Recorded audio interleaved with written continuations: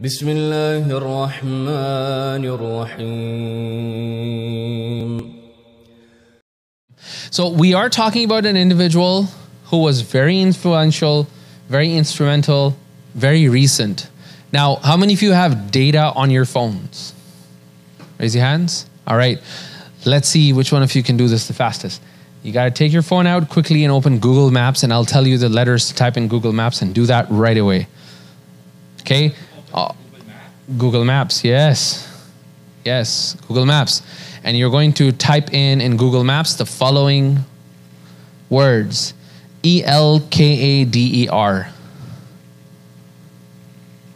Let's see. If, what do you see? Okay, you see Iowa, USA. Everybody sees that? Okay. You see it? Anybody else that doesn't see it? E L K A D E R. If you have a phone, if you don't have a phone, show it to others, right? E uh, E L K A D E R. Al Qaeda. Okay? Al Qaeda. What do you think this is? It's a city, it's a small city. It's a small town in the Clayton County in Iowa, very small. And it is named after a very particular individual. What really happened was when the founders of this particular small city, Timothy Davis, John Thompson, and Chester Sage, when they were having conversations and they were sitting, they said, We need a name of an individual that we can name this particular city after. And they had a list of candidates who are they going to name this particular city after. And guess what? Subhanallah. They said the only person we can think of is one prominent figure that is alive in our times who was not even like you know dead or you know he had he had done great things and he's passed away. He's still alive and his legacy is still being built. And they said we're going to name the city after Amir Abdul Qadir Al Jazairi and that Al Qadir is Al Qadir. Okay. 1846 so this was in 1846 when the city was founded okay and they said that they decided to name it after the young Algerian who was leading his people in resisting the French conquest of Aljazair or Algeria. Okay, when I say Aljazair, it's Algeria. In 1843, a little bit earlier than that, uh, there was a person by the name of anybody can read French? You're French fluent? Okay, come. See, you gotta learn from kids, man. I'm not a French guy. How would you read this name? Uh, Jean de Deux. Uh, so, Okay. think, yeah. You got the name. That's how you pronounce the name. Okay? Jean Dedo, right? A person, a very prominent figure. In 1843, he declares and he says that Abdul Qadir was one of the three great men living. The two others are Imam Shamil. During the time of Abdul Qadir, there was another person. He's our next person that we're going to do, Imam Shamil. Uh, he's from the northern areas. Uh, so Imam Shamil, uh, he was from Dagestan, the Imam of Dagestan, and Muhammad Ali Pasha of Turkey, or he was the governor at Egypt. These are the only people living alive on the face of this earth that are worthy of given the title the noble men.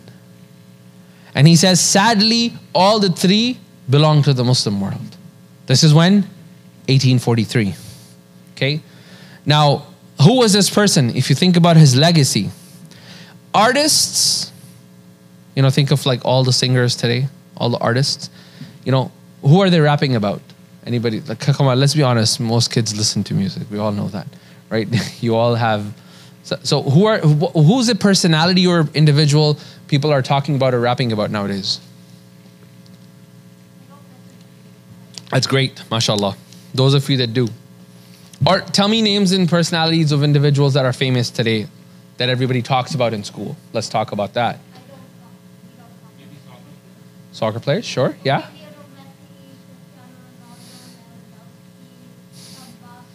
I got. I thought you didn't know anything. That's great. That's exactly what we're talking about. Hi. Yes. Who else? Huh? Kobe Bryant. He passed away. Yes. Who else? So all of these famous personalities, right? So what happens when they become famous? Other people they write things about them. They talk and they do different things. So here's a really interesting thing.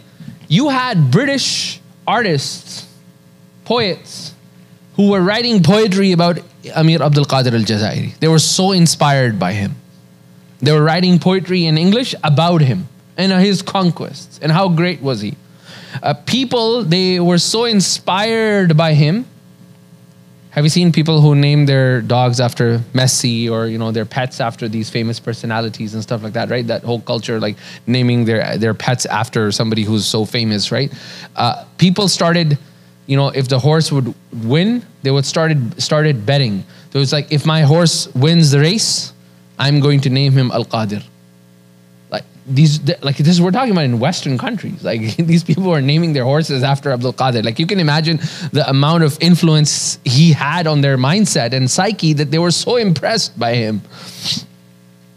It is mentioned that the people of Port Bordeaux, um, a small town, they were so impressed by Imam Amir Abdul Qadir al Jazairi's character and his dealings that in the elections of the French election of 1849, in the French election of 1849, they actually placed his name on the ballot for the French president. He was not even French. right? People were so inspired by him. And what you find and in 2013, there was a film director by the na- name of Oliver Stone. Oliver Stone decided that he's, he announced uh, a production, a film uh, called The Amir Abdul Qadir, but due to financial reasons and whatever, they were not able to, to fulfill that, and he still wants to, to, to you know, uh, produce that movie. Um, then what happens is uh, Abdul Qadir uh, Fellowship is a postdoctoral fellowship today in the Institute of Advanced Studies in Culture and University of Virginia. So there's a specific fellowship that has been dedicated to him. Now, what you find is all of these Western world and people in the Western world, they're so impressed by him. Yet our Muslim communities does not, Muslim community doesn't even know about him. Who is this person? Where was he? Where did he belong? Nobody knows about him. Uh, and, and, and that to me was very concerning.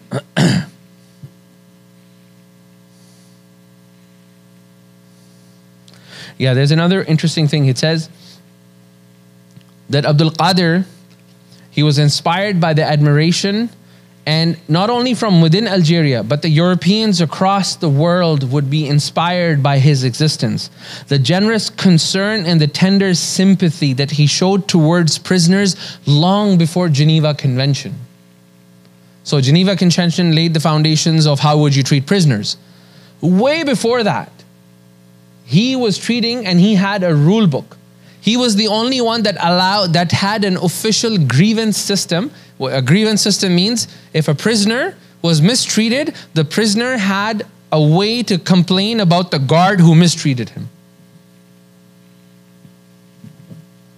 And what happened is when he was imprisoned in France, wrongfully imprisoned in the town of Bordeaux, every single prison guard became a Muslim just through his dealings. The, they, they would appoint a prison guard within a week or two. The, the guard would just accept Islam. They're like, this guy is not like, he's not, he shouldn't be in the prison. So much so that when so many people, so many prison guards, they started moving him around. They got scared. They're like, this guy's to cause an internal revolution within the prison. So they would put him in a different prison. They would move into a different prison and move him into a different, constantly moving until there were some key influential figures like today some you know famous actors famous uh, you know football players tennis players whoever people that have influence they started putting per pressure on the on Napoleon Bonaparte 3 and then afterwards they were allowed he was allowed to be released. Now i'm setting this stage for everybody so that we understand the greatness of this person. We haven't gone through his story but you know this is how the western world sees him Uh, there's books that have been written on it. Uh, if you type in the the biography of Amir Abdul Qadir, uh, I'm missing the name of that individual. I I can see it with the image. It starts with a K. I just can't remember the entire name. Uh, but it, it, the book is available on Amazon. The the life of Amir Abdul Qadir. It was published in I believe 2013, a recent book. So this is who we're talking about today. Amir Abdul Qadir Al Jazairi. Okay. Let's begin the story. You guys excited? No? You are? That's great. Who else is excited? No? Hmm? I, I need a lo- louder excitement. This is not a good excitement. Wow. That's crazy. Yes? Are you, is that your exci- excitement hand? Yes? I love it. That's great. Okay, so let me tell you a little bit about the state of France at that particular time, right? We're talking about in the 1800s era. So let's try to understand how the French people or how was France at that particular time. So France was in dark ages. Okay? William Chambra, who was a, a traveler, a tourist, and he wrote journals and he would write his travel journals. Like you know ibn battuta he had his travel journals. So he had these travel journals that you can look up. And he mentions that in 1813 when he went to algeria aljazair he went in the streets trying to find a single person that he can find within the streets of algeria who was not able to read and write. And he said i could not find anyone every single person that was walking in the streets of Aljazair in 1813 was a person who was learned. They could read and write. Whereas the country I came from, he's talking about, you know, the UK and Europe at that time, he said you could hardly find people that were reading and writing. So what that tells you about the state of the civilization that existed at that time. Uh, at point, Aljazair was so rich that they had they loaned to France thousands and thousands of dollars. Till this day France has not paid back that debt. That debt is still being recorded and accruing interest and whatever you know, you know international trade and all of that. So they still haven't paid that debt back. You know they were so much in need. Yet they wanted to invade this particular land.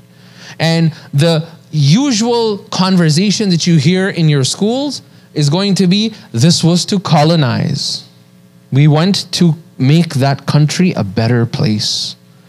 We entered that barbaric environment, uncivilized, and we made it civilized, right? In 1813, William Chambra, he says that when I walked the streets of Aljazair, I could not find anybody I mean, this is true, not, not anymore, but he's like, I could not find anybody that stunk. They didn't have a stench, they didn't smell bad. Whereas in France, you could not walk the streets of France because people didn't know how to clean themselves and they stunk. They had stench. That's why one of my teachers used to say, you know, if you go back and read history, it stinks, right? Because people didn't know how to clean themselves. They didn't have Islam telling them how to be pure and take baths. As, as a matter of fact, one of few of the kings, they used to pride themselves that they haven't taken a bath for a year. I'm serious. Like if you read history, they're like, I haven't taken a bath for a year. I'm the king. It's a great accomplishment that I've done. Or, or recently, you know, I, I watched a YouTube video where the guy's like, I haven't washed my washed my jeans for four years. Right? This is this is a culture. It's like you don't wash your jeans. I'm like, what? For four years? And he's so proud of that. He did an entire YouTube video on that. And he's like, and I only own one pair of jeans. Right? So people commented, he's like, imagine what he's wearing right now when he's recording the video. Right? Like he doesn't have another pair of jeans. But he was so proud of that. So that stench, you know, they, people stink. And that's where the entire culture of colognes and smell came because they're like, we need to get rid of the smell somehow not cleaning ourselves. Let's just, just put lots of ether on ourselves, right? To cover up the smell. So this is what was the state of France at that time. So a lot of people today, they're so impressed by, and I, I mentioned this in the khutbah too, like they're very impressed by this French etiquette. They're like, oh, you know, know, cutting the fork and knife and stuff like that. But if you actually go and study France's history, they are people who hate Muslims. The root, like their like their essence, is entrenched in this element of making sure that they destroy Muslim lands. And I'll tell you what colonization means to them.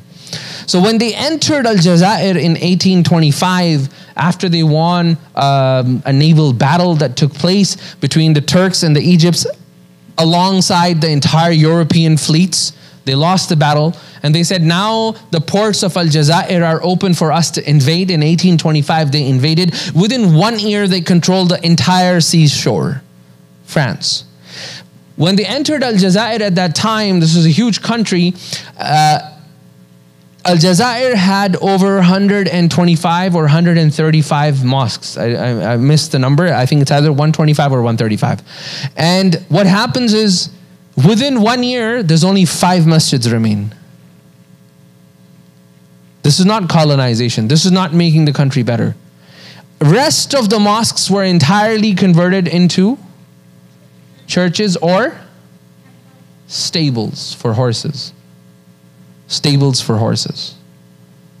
So they literally went in there to destroy a perfectly fine civilization. That's why, you know, if you tell all of these countries today, then they, they all talk about, oh, the Muslim world and democracy and all of that, right? Democracy is, you know, you can do whatever you want. But before you blame the Muslim world, get your hands out of our lands. Get your hands out. You have no business being in Iraq. You have no business being in all of these countries. Get your hands out of it and then do whatever you want. Like, then let the Muslims see what they do, right? We're the most philanthropical nation. Like, in recent studies, they found that in UK, we are the poorest of the, the denominations that exist in UK, different, like, you know, ethnicities as Muslims, right, religions, yet we are the most charitable in UK, right? Why? Because it's in our nature to give. We don't take, we give. So what you find is this was the state. Now comes Amir Abdul Qadir al Jazairi. So 825 is the invasion of France into Al Jazair. Abdul Qadir al Jazairi was born in Al Jazair in the city of Mascara, Mascara or Mascara uh, in 1808. He was born in 1808. In 1825, while he was still young, the invasion uh, in 1825 when the invasion of France was taking place at that time he set out with his father. How old was he in 1825 1808 so he was born in 1808 and 1825 what was his age? 17 so he was 17 years of age at that time teenager. Imagine he was a teenager at that time 17, 16, 17, he embarks on a journey traveling all the way from Al Jazair to Maghreb to Egypt, crossing over from there to Palestine, Jordan, down all the way through Tabuk to Mecca as a 17 year old. Okay, let that sink in. Our kids don't even go to like, you know, this, and, and you have no way of knowing if your son is alive or not. Right? No communication. Right? So he goes for Hajj performs the Hajj, obviously with a group, he was not all by himself. Uh, and then in 1832, uh, 1832, uh, he comes back to Al Jazair. His father, Muhyiddin, he is aging, i.e., he's getting old at that time, and he decides that he wants to pass on the baton. He was a leader or the chieftain of that village. He passes on the baton to his son, Abdul Qadir. Now, the, the, this baton is given to Abdul Qadir, and he becomes the chief. At 1834, how old do you think he is? He was born in 1808. At 1834, how old is he?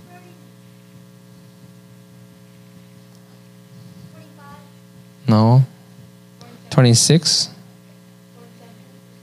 Older?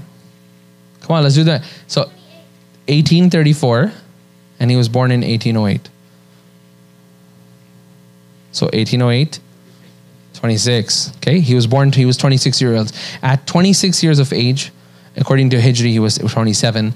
So at 26 or 27 years of age, at that time, he was so renowned as a military person, and his military prowess was known in, in the entire Al Jazair. And he actually went straight and started having head-on battles with French. But again, he used that guerrilla warfare that we talked about in Muhammad al-Khattabi's story, where you know you would have different different small battalions and you attack, attack, attack, and you keep the, the enemy confused where you're going to be attacking. And then Abdul Qadir al-Jazairi forced the French people to sign a treaty. Uh, the treaty was called the Desmil. This yeah. Oh, you're learning about treaties in school? That's amazing. So, ensuring that uh, he signed a particular treaty at that time, and that treaty gave him the, the power to be the ruler of interior Oran. We're going to pray today at 8.15, inshallah, if you're here for the prayer. Uh, we're going to pray, delay the prayer. Uh, yes. Uh, it was called the Treaty of Dem Shila. Okay? Uh, again, I don't know how you pronounce it in the French part, but in Arabic, that's how. And he became now the ruler of the entire province of Oran. Okay? Okay? He became the province. Then in 1837, he convinced General Bugeaud to sign another treaty, which was called the Treaty of Tafna, which was the greatest treaty that he signed. And with the Treaty of Tafna, now he became the unite, like undisputed leader of Al Jazeera, uh, Al Jazair at that time. The whole interior and the Titteri province, these two giant provinces in Al Jazair, and giant, like they're huge, size of Ontario. Like now he is controlling that massive land, and he's got full power. And so this is happening 1834 one treaty 1837 in 1839 the french cannot take him. And they say you know what? We cannot we cannot be bound by these treaties of these bedouins who cares? Even if we sign them on the world stage we're going to break the treaties. And they come in with full force and power. They walk in and officially in 1841 the giant like fighting breaks out in entire Al Jazair. As I mentioned in my khutbah, uh, Al Jazair has been has gone through so many Al you know, uh, Algeria has gone through so many so many catastrophes at the hands of the French and other invaders and and Portuguese at that time that it is mentioned that it is called the land of million shaheed. That's how many human beings have died in protecting. So, and then what happens is the treaty, despite the fact that it was signed in 1839, the small nation that he formed, that nation comes to an end. And uh, General Orleans, despite the fact that the treaty was there and there was world pressure on him that do not break that treaty, he does not care. He comes in fighting and starts killing human beings. The fighting went so bad that in 1841, uh, the governor general at that time, he said, I will enter your mountains and I will burn your villages and all that is in it.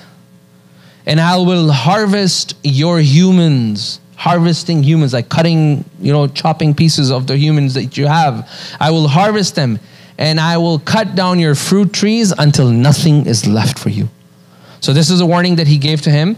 And at that time, what happens is Abdul Qadir, he sees the, the massacre that is happening, which is that literally the French people, this is what they were doing. When they would enter the city, when they would enter a city, they would find women, and if the women were wearing earrings, instead of asking the woman to take off the earrings, they would chop off the ears of the woman and send those earrings to France.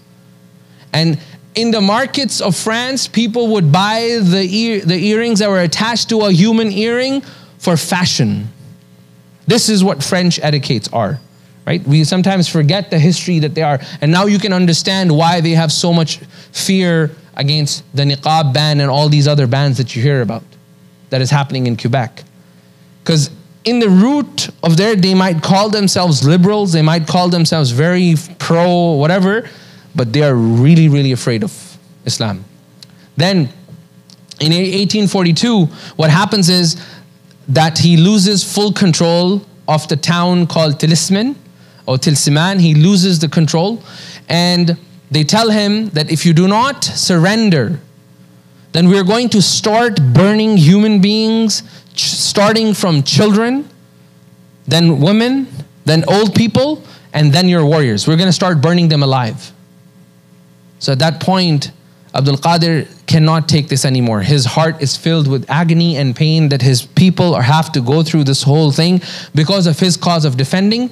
And a lot of people told him not to give up, but he's like, I cannot be a source of having all these millions of children and women being killed just because I wanted freedom for this country. So in 1847, what happens is Abdul Qadir surrenders, and General Louis at that time he promises him in exchange of his surrender, in exchange of him submitting to, to General Louis's command, he will be given asylum and taken to a Muslim land, either Turkey or Syria, based on his request. But as soon as that happens, as is the case, oftentimes colonizing powers they betrayed their promises. Whatever happened in india and pakistan those of you that have read history you know what happened there. All the promises everything that was given and everything was broken in the next day they did the exact same thing and they took him and they put him in prison. He was imprisoned at that time instead of uh, you know uh, being taken as a free person in the land that he chose. They put him in a prison, and the French administration held him as a prisoner instead of taking him the country that requested. Now, I mentioned that there were a lot of prominent figures at that time, too many to mention, that actually started raising concerns about his treatment in the prison, how he was treated. And it is mentioned that there's actually a graveyard in France where all the people who followed him so all the prison guards who became Muslim because of his behavior and his character, all of them they died and they requested that they be buried and there's I think total of 36 of them. They're all buried in a particular graveyard in France and they have a, a monument on them honoring the, the fact that they were the you know people who believed in Abdul Qadir al Jazairi at that time, uh, and again, I mean they didn't have much religion, right? They accepted Islam, and that's all this. So that that's their way of you know uh, doing that. So what happens is in 1855. Uh, 1852, President Napoleon Bonaparte, he says that we have done wrong to this person. He deserves a lot more than what he was treated for. And then they, they give him a pension of 100,000 francs back then you know, a pension of 100,000 francs even today is pretty good, right? Like, you know, they gave him 100,000 francs back then as a pension for what the in injustice that was done to him by putting him in the prison. Then he devoted the rest of his life from 1855. He took up residence in a small town of Bursa in Turkey. And after that, he moved to the Amara district in Damascus, in Damascus, in, Damascus uh, uh, in the northern parts of Damascus. And then he devoted the rest of his life writing books on theology, philosophy, philosophical treatises that have been written. Uh, they call the the, uh, the, defense of intelligence. There's a treaty that was written on that. He also wrote a book on Arabian horses and all the different types of Arabian horses. He was a very like he was a he was a, a very good example of somebody who was a theologian, who was a historian, who understood sciences. He had very good grasp on all different sciences. Now, the last part of his particular event and what we are going to quickly go through is in and this is the story that I want everybody to take away. In July of 1860, a conflict break a conflict breaks out between the Muslims uh, and the the Maronites. It's a you know it's a subsect of uh, of Christianity, not Mennonites, Maronites. So the Druze and the Muslims with the Maronites and the Christians in Damascus, Damascus, they get into an argument, and it's literally like a bloodbath. And what happens is around 3,000 Christians were killed in that bloodbath. Now, Amir Abdul Qadir, he hears about this, and obviously he's defenseless. He doesn't have any weapons and stuff. He's only got himself and his fame, you know, as a person. And he gathers 40 people and he opens up his houses and all the other 40 people they open up their houses. And his sons amir abdul qadir's sons they were running around in the streets looking for christians and telling them you can just come to our houses. We've got safe haven for you in our houses. You can take refuge in our houses. One of the newspapers many years down the road almost nine years down the road uh, Le Siècle newspaper uh, on 2nd of August 1869 in the fourth article they write they say uh, a portion of this long article but it says uh, we were in concentrations, surrounded. All of us, this is one of the survivors he's writing. All of us quite convinced that our last hour had arrived. In that expectation of death, in those incredible moments of gleam and doom and of anguish, Heaven, however, sent us a savior. Abdul Qadir appeared surrounded by his Algerian 40 of them. He was on a horseback and had no arms. So people were killing with arms, and he just entered. He was so handsome and such an handsome figure with calm and imposing, made such a strange contrast with the noise of the, the warfare that was taking place and the disorder that reigned everywhere. And he came and he saved our lives.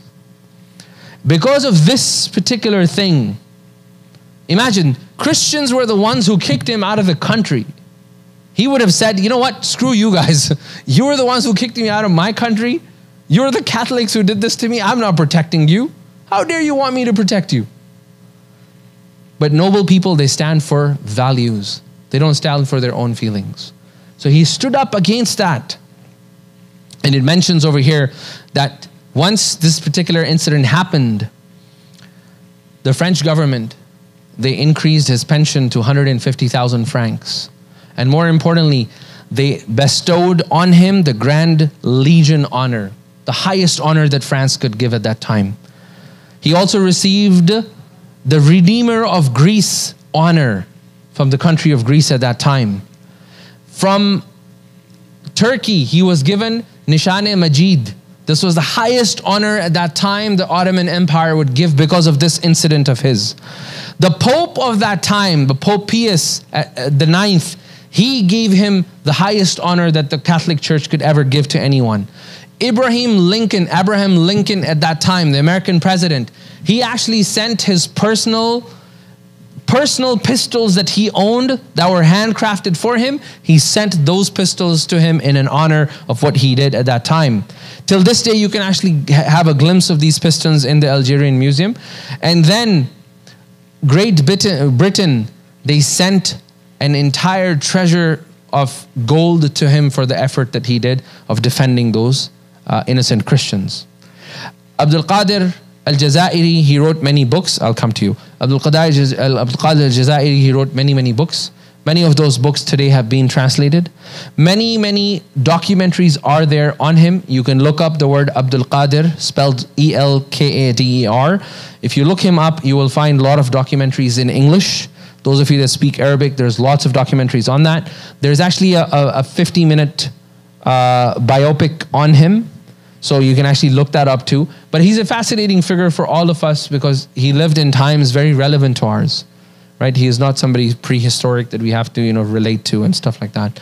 Uh, and then we already mentioned in the beginning that, you know, today the town of Abdul, town of Al Qadir or Al Qadir in Iowa, the state of Iowa, in the town of Clayton, uh, in the county of Clayton, is is named after this particular person, right? Abdul Qadir. Sadly, there's not one Muslim town in one, I was searching for it, there's not one Muslim country that has named a single town after him. Right? That, that just tells you the disconnect. As a matter of fact, what adds the salt to the story is that when they realized that people are picking up on his history, they had to somehow distort his image. So now there's an entire uh, you know, people are talking about speculative stuff that he was part of the Freemasons, he didn't belong, and you know this, this, and that's why all these honors were given to him because he was a Freemason. Otherwise, it would this wouldn't have happened. Uh, many, many years after, right? I mean, what happened to you know if he was a Freemason, people would have known back then, right? And a lot of the rulers of the countries of such you know Arab countries and other other countries, they are in cahoots already with these powers, so they don't want this. So that's why many of the presidents of such, the Algerian, Al Jazairi, Algerian president came out and said, "Oh, Abdul Qadir was actually uh, a betrayer of the country," and he said these, you know, random comments. And why is that? Because when people, when, because media is is spurring now, people can do all of these documentaries. You can't hide history anymore.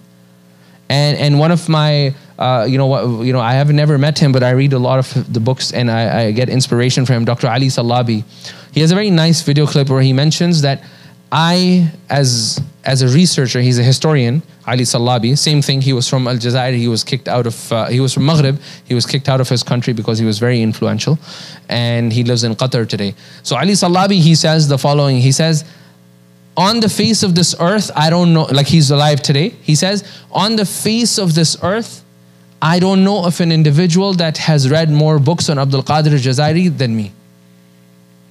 Okay, this is the Shaykh himself saying that.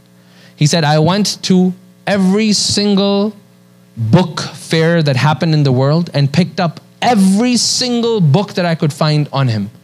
And I read all of these books. And I've come to this conclusion that the efforts of distortion of his image that is hap- taking place today in the Arab world, specifically run by, you know, dominating certain type of rulers, they're putting out this propaganda because they do not want the next generation to be connected to this strong figure. Whereas the Western world is unanimous about the nobility and the greatness of this freedom fighter. And this was our hero for today, Abdul Qadir al Jazairi, inshallah. Our next week's story, uh, by the way, so reminder for the families, we are going to be doing this after Isha. So Isha is going to be at 8 o'clock. Try to be here at Isha. We'll pray Isha 8 o'clock. We'll try to start at 8.15 right away, inshallah. Today we had delayed the Isha. Those of you that are here for Isha, thank you for being patient. You know, time change and stuff like that. From next week, this will take place after Isha. And I'll take, you know, a couple of questions and we'll end, inshallah. Yes. Pistol is a gun. Any questions about this? Yes. Sure.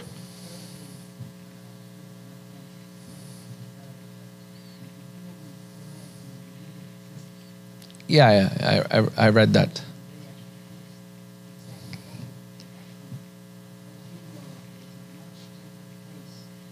Than France at that time. Yeah.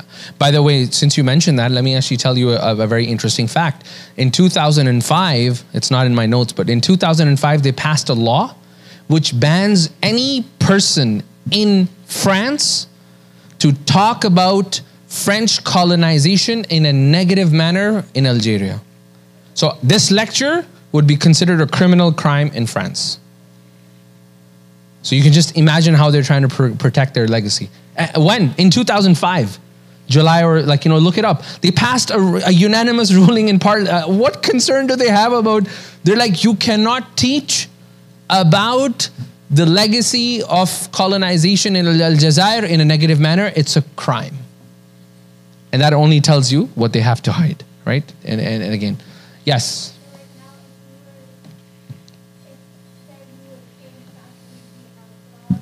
We would be outlaws, yes. And sometimes it's nice to be outlaws.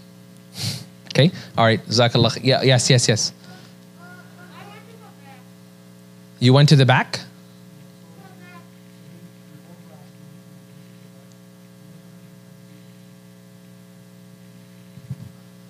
Yeah, most French people may not hate, hate Muslims. That's a really good thing. You know, people on the street who happen to be born in Quebec or other places, they may not. We're talking about people who control that country.